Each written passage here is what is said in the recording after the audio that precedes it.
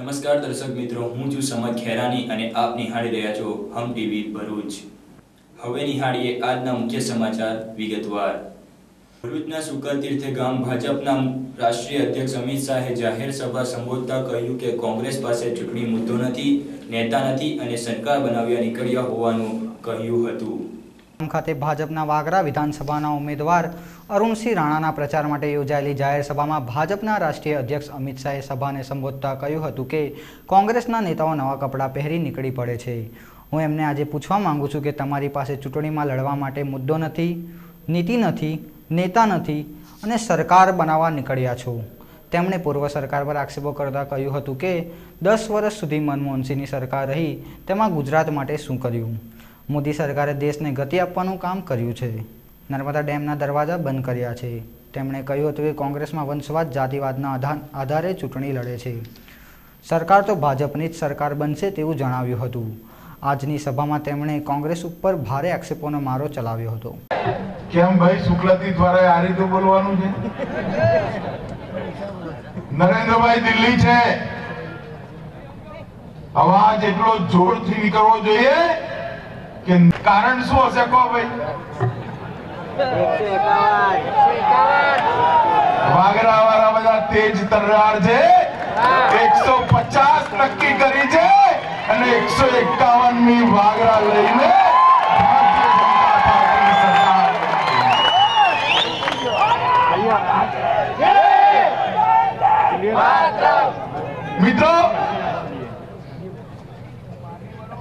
હું આ શુક્લ તીર્થની પવિત્ર ધરતી પર સભા સંબોધિત કરવા આવતો હતો, ત્યારે રસ્તામાં મને કેટલાક એરપોર્ટ જતા પેલા પત્રકારો મળ્યા. એમણે પૂછ્યું કમિતભાઈ આજે કાર્પેટ ભરૂચના મકદમપુર ગામના પેટ્રોલ પંપ પાસે રિક્ષામાં અચાનક આગ લાગી જતા ભારે દોડધામ મચી જવા પામી હતી. કલાકની આસપાસ ભરૂચના મક્તંબો રોડ પર આવેલા પેટ્રોલ પંપ પાસે સિકંદરભાઈ મલિક રિક્ષા નંબર જીજે સોળ વાય એકસઠ ચોપન લઈ પેટ્રોલ પંપ પર આવ્યા હતા. દરમિયાન અચાનક રિક્ષામાં આગ લાગતા ભારે દોડધામાં મચી જવા પામી હતી. બનાવ અંગેની જાણ ભરૂચ ફાયર વિભાગમાં કરવામાં આવતા ફાયરના લશ્કરોએ તાત્કાલિક ઘટના સ્થળે દોડી જે આગ ઉપર કાબુ મેળવ્યો હતી જોકે સદનસીબે સમગ્ર ઘટનામાં કોઈ જાનહાનિ થવા પામી ન હતી.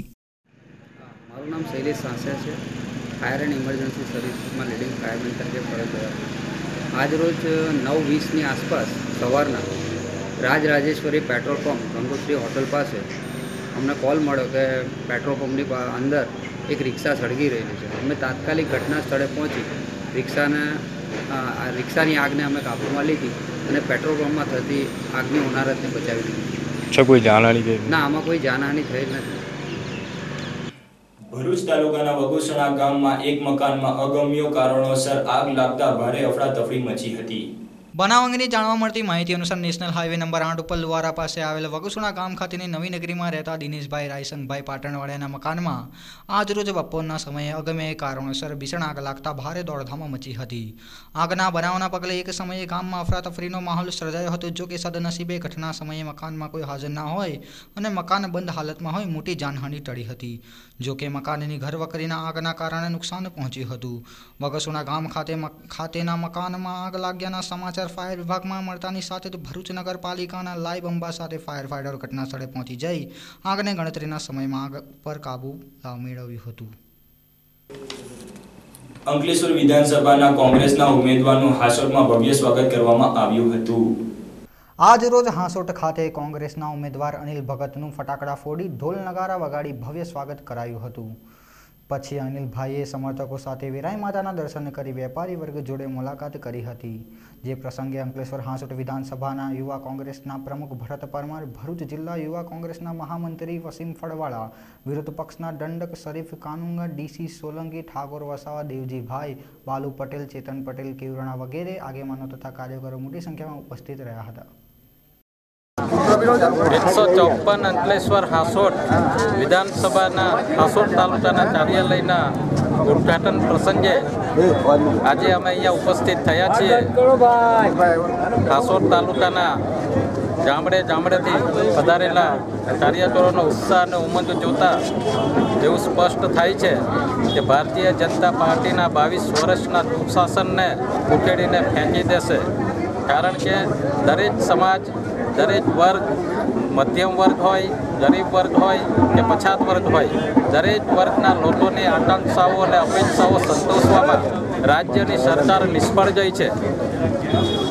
ગરીબી, બેચારી, ભૂતમરો અને ભ્રષ્ટાચારે માજા મૂકી છે ભયભૂત ભ્રષ્ટાચારની વાત કરનારી સરકારના રાજમાં ભયભૂત અને ભ્રષ્ટાચારે માજા મૂકી છે ત્યારે સૌના સાથ અને સૌના વિકાસની વાતો કરનારી સરકારમાં અસમાન વિકાસને કારણે અસંતોષ ભપકી ઉઠ્યો છે. અને આવનારી નવ ડિસેમ્બરે જ્યારે મતદાન થવાનું છે, ત્યારે સૌ ભારતીય જનતા પાર્ટીની વિરુદ્ધમાં મતદાન કરશે એવી મને આશા છે અને એવી અપીલ કરવા માટે હું અહીંયા ઉપસ્થિત થયો છું.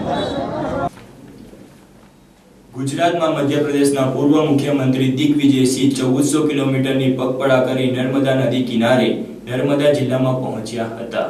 ના દિગ્ગજ નેતા અને મધ્યપ્રદેશના મુખ્યમંત્રી દિગ્વિજયસિંહે જણાવ્યું હતું કે વીસ વર્ષ પહેલાં નર્મદા પરિક્રમાનો મેં સંકલ્પ લીધો હતો, પણ મેં એ સંકલ્પ પૂરો કરી શક્યો ન હતો, તેથી સમય કાઢીને નર્મદા પરિક્રમા કરી રહ્યો છું. અને પરિક્રમા પૂર્ણ પૂર્ણ ધાર્મિક અને આધ્યાત્મિક છે, કોઈ રાજનૈતિક ઉદ્દેશ્ય નથી. આપને ગુજરાત કેવું લાગ્યું તેવા પ્રશ્નના ઉત્તરમાં જણાવ્યું હતું કે મારે પણ ત્રણ પુત્રીઓના લગ્ન ગુજરાતમાં જ થયા છે, એટલે ગુજરાત પ્રત્યે મને લગાવ છે. ગુજરાતના લોકો ખૂબ સારા અને સરસ ભાવના છે, રાજકીય પ્રશ્નોના ઉત્તર તાળતા તેમણે જણાવ્યું હતું કે જ્યાં સુધી હું નર્મદા પરિક્રમા પૂરી નહીં કરું ત્યાં સુધી કોઈ રાજનૈતિક નિવેદન નહીં કરું તેમણે નર્મદા પરિક્રમાનો અલૌકિક અનુભવ કર્યા હોવાનું જણાવ્યું હતું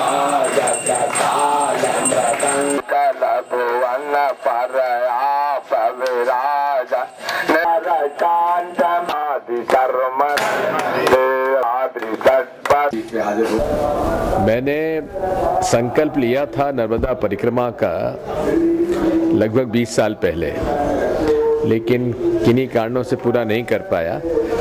तो इसलिए अब मैंने समय निकाल कर नर्मदा परिक्रमा कर रहा हूँ। और ये पूरी तरीके से धार्मिक, आध्यात्मिक है, इसमें कोई राजनीतिक उद्देश्य नहीं है। अब हमने शुरुआत की थी बरमान घाट है। असल में मेरे गुरु हैं स्वामी स्वरूपानंद जी, शंकराचार्य जी द्वारका पीठ जोशी मठ उनका ज्योतेश्वर में आश्रम तो आशीर्वाद लेकर मैंने बरमान घाट से शुरू की थी। और वहीं पूरी होगी। लगभग साढ़े नौ सौ किलोमीटर हम लोग चल चुके हैं मैं तो हमेशा से गुजरात का प्रशंसक रहा हूँ। मेरी तीन पुत्रियों की शादी मैंने गुजरात में की है। तो इसलिए मेरे लिए तो गुजरात एक अत्यधिक महत्वपूर्ण प्रदेश है। और अच्छे लोग हैं, बहुत भले लोग हैं।